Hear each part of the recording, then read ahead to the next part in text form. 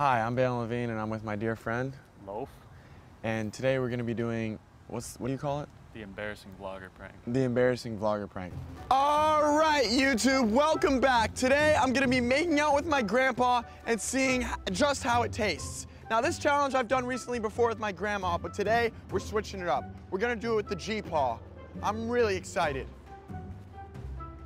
Yo, what the fuck's going on, YouTube? My friend here has agreed to dress up as Donkey from Shrek to suck me off. I'm doing it. I know sex with animals is wrong, but this doesn't count. He's a human being.